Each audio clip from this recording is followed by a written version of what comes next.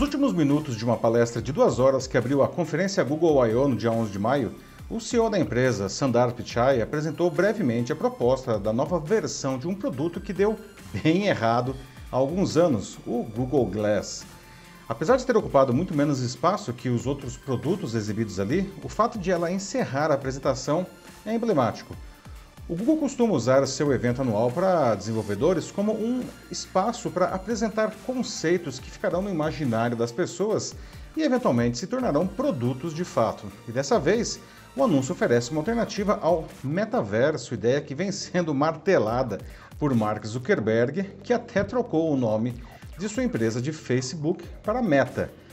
Caminhamos para uma vida digital mais imersiva e o novo Google Glass Ainda é um protótipo mais próximo de um desejo que de algo comercial.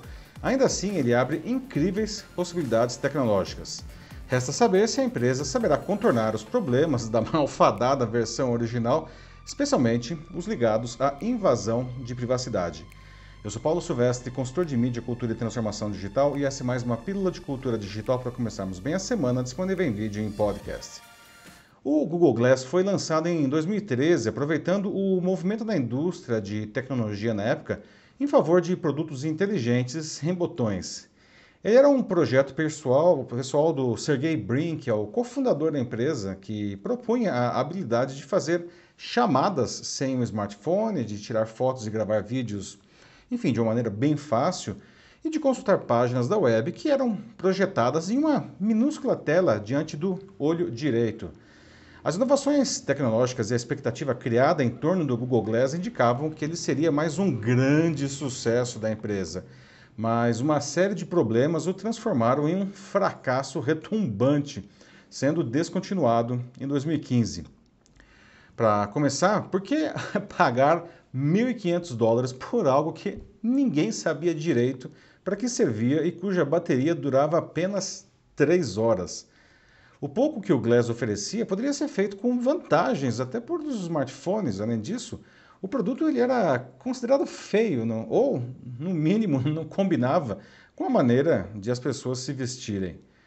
Mas um dos maiores problemas eram as questões ligadas à invasão de privacidade. Uma câmera apontando continuamente para si incomodava os interlocutores, ainda mais quando o usuário podia tirar fotos e até gravar vídeos sem que a outra parte soubesse.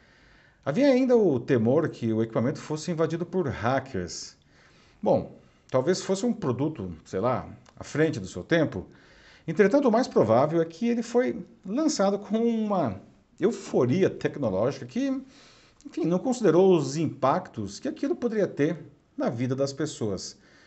Agora, o Google tem muito mais maturidade tecnológica para lançar um produto mais útil e consistente, mas permanece a pergunta que deve ser feita diante de toda nova tecnologia. Seus benefícios superam eventuais problemas que ela traz? A empresa parece ter aprendido com os erros do Glass original, e ao contrário daquela utilidade questionável, né, a nova versão apresentada agora estava focada na solução de uma necessidade real.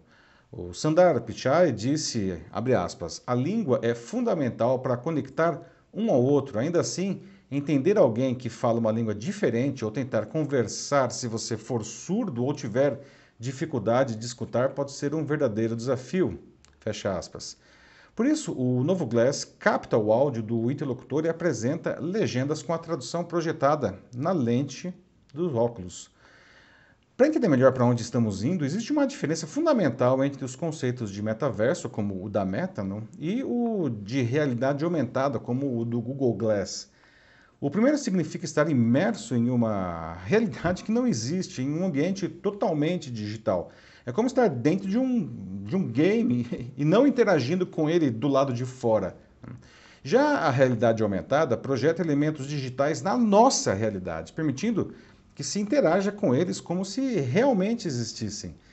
O metaverso é mais simples de ser compreendido, pois, enfim, já existem produtos que bebem dessa fonte há duas décadas. Não? O mais conhecido deles é o Second Life, lançado em 2003 e que ainda existe, apesar de hoje ter proporcionalmente bem poucos usuários. A proposta do Zuckerberg agora acrescenta a imersão nesse ambiente digital graças a dispositivos como óculos de realidade virtual.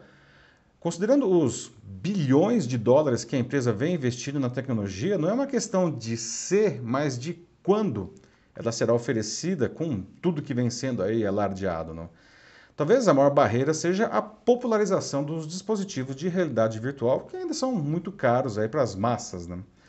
A realidade aumentada, por sua vez, causa um impacto ainda maior, pois não somos nós que entramos né, no mundo digital, e sim elementos virtuais que invadem o nosso mundo, permitindo a sua manipulação.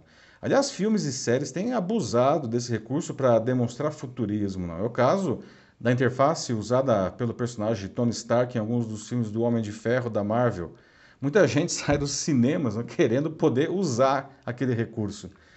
Mas propostas bem ousadas também existem de verdade no nosso mundo, não? como as apresentadas pela Microsoft já há alguns anos, aliás, em torno de produtos seus como os óculos HoloLens. Muitas outras empresas também tentam fincar a sua bandeira nesse terreno, como até o Snapchat, que oferece seus óculos Spectacles, criados para que as pessoas compartilhem fotos e vídeos. E com uma nova versão oferecendo também recursos de realidade aumentada. E não se pode esquecer, obviamente, da Apple, que promete para breve, para bem breve, os seus próprios óculos aí com esse recurso. Talvez o Google Glass original tenha sido, enfim, um fracasso comercial, mas ele permitiu que pensássemos nos problemas potenciais aí de uma tecnologia como essa. E isso abriu caminho para melhores serviços de realidade aumentada e o próprio metaverso. O que não quer dizer que eles já tenham sido totalmente resolvidos. Né?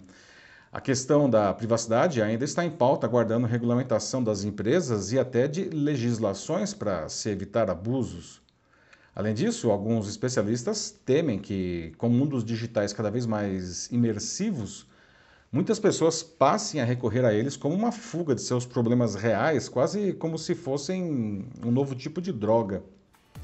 Não há dúvida que a gente caminha para isso. Né? As realidades virtual e aumentada trazem incríveis possibilidades para melhorar as nossas vidas e, a despeito dessas preocupações que acabei de dizer, quanto mais imersivas forem, mais poderosas e até divertidas elas vão ficar, né?